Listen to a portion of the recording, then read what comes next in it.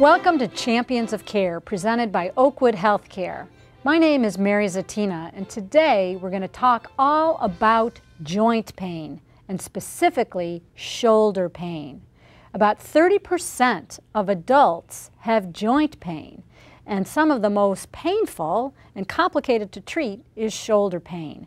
With us today to talk about that is Dr. Richard Gruz, a primary care family medicine mm -hmm. physician in Garden City. Welcome to Champions of Care. Thank you for having me.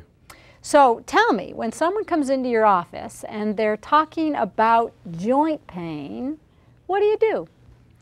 Well, just like anything, uh, you get a very good history what happened, how long has this been bothering you, and what can we do to fix it. And is there something particularly special about shoulder pain? Um, well, it's very common. Uh, it has a number of different causes, uh, mostly related to activity, uh, whether it's work, uh, sports injuries, uh, old injuries, and repetitive use injuries, uh, which can lead into arthritis. they usually fall into your common tendonitis, bursitis, uh, in your rotator cuff syndromes. And um, if a patient is feeling shoulder pain, they should come see you. Are there any conditions that should send a patient with shoulder pain directly to the ER? Well, most things can be handled by the primary care physician, but anytime there's uh, sudden trauma, uh, sudden loss of function, or uh, if you injure yourself and the pain is just so unbearable that over-the-counter uh, ibuprofen or Tylenol isn't cutting it, well then maybe it's time to take a trip to the ER. And for those folks who are coming to see you and you've talked to them, when do you know it's time to see a specialist? Well, usually I can handle most of the things that come in. Uh, we'll put them on a course of um, non-steroidal anti-inflammatories, for instance, like I mentioned before, ibuprofen or Tylenol. We'll put them through ice therapy, um, strength training, uh, in more severe cases, we can even do joint injections or tendon sheath injections to try to alleviate the pain. And obviously, physical therapy is key to rehabbing any shoulder injury. But if those things fail, or if I ever feel that surgery is warranted with a moderate to severe rotator cuff injury, for instance, then it's time to go see the orthopedic surgeon. Well, let's learn a little bit more about specialty care for shoulder pain. Champions of Care reporter Paula Rivera Kerr is visiting with one of your colleagues, Dr. Mark Milia, who's a shoulder expert. Let's watch. Our guest today is Dr. Mark Milia, an orthopedic surgeon and sports medicine specialist. He was named one of Hour Detroit's magazine's top docs. He's mom approved by Metro Parent magazine.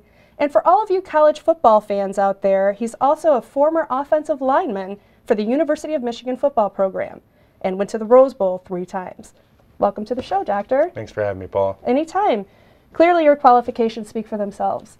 Talk a little bit about your past and what brought you to this point today.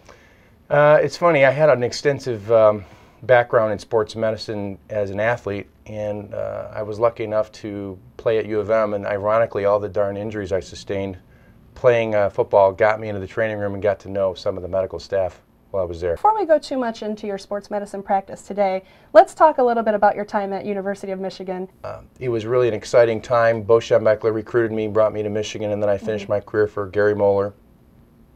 I think I played with probably 10 or 10 or 12 guys who played in the NFL for many years.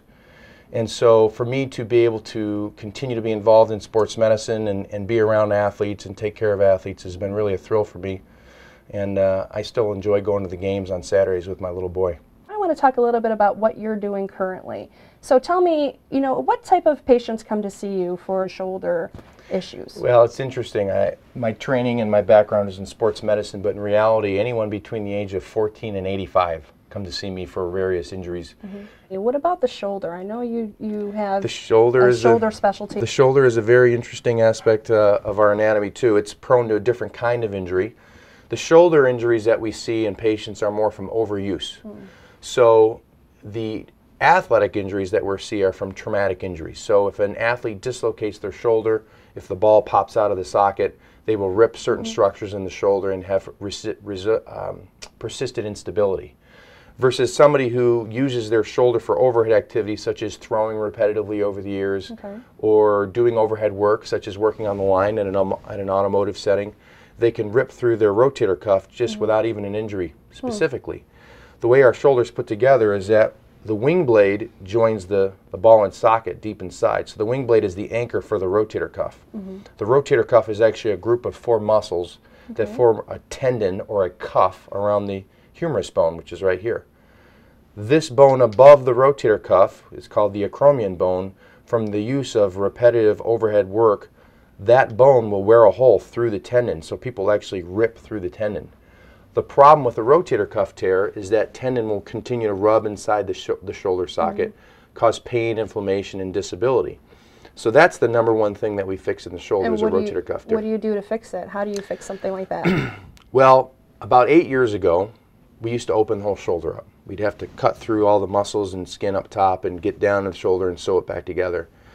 For about the last seven years, I've been doing it through an arthroscopic procedure, five or 6 millimeter incisions, poke holes to get access, a camera that we use to look at the rotator cuff gives us the ability to stitch it back together without making a major open shoulder, shoulder surgery procedure.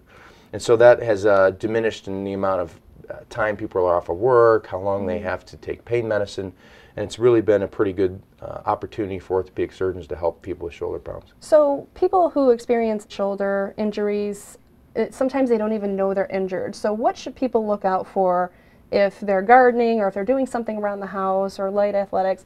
What kind of things should would you recommend that they need to go see a doctor for? Well, the, the interesting thing about the shoulder is that a lot of people who come to see me tell me they've been told they've had arthritis their whole life. So and so said, ah, it's just arthritis. Well, arthritis in the shoulder is not that common. It's really usually a rotator cuff problem. Hmm. And so if it's hurting you at night where you can't sleep, if you no longer can raise your arm up above your head, you've got a problem. And the problem with neglecting a rotator cuff tear is they get bigger. Mm-hmm. And the bigger a rotator cuff tear gets, the harder it is to fix it. And so rather than pushing it off and pushing it off, it's not a mm-hmm. bad idea to see somebody who specializes in the shoulder and can kind of help direct the right course mm-hmm. of action. Just because I'm a sur- surgeon does not mean I tell every person that walks in the door they need surgery. And so I like to try and stress uh, the non operative options that are available to anybody. And if those don't work, then surgery is certainly an option. But I would not be afraid to see somebody because you think you're going to have surgery. There's a lot of options other than surgery, and we try and emphasize that. Excellent. Well, we covered a lot today, Dr. Milia. Your interesting past at U of M, your practice today. Is there anything that you would like to add?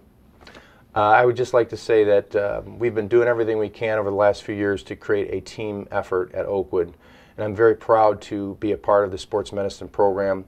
Uh, Mr. Jeff Klein, who's an athletic trainer, helped me make this program work over the last seven years, and all the athletic trainers that helped me out have been fantastic, and will continue to tr- try and stress uh, excellent outcomes on both the athletic field and in the uh, working arena. Well, Dr. Milia, thank you so much for being with us today and for sharing your stories It's a pleasure. with us, and I wish you the best. Thanks for having me.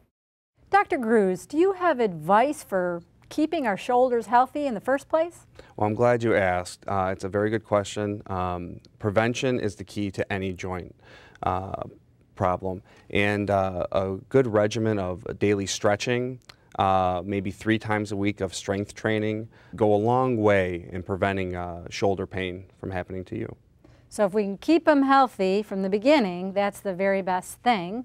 And sometimes, as you've mentioned, physical therapy can help get a painful shoulder back to normal. When we come back, we're going to be talking with a physical therapist about how to recover from shoulder injuries.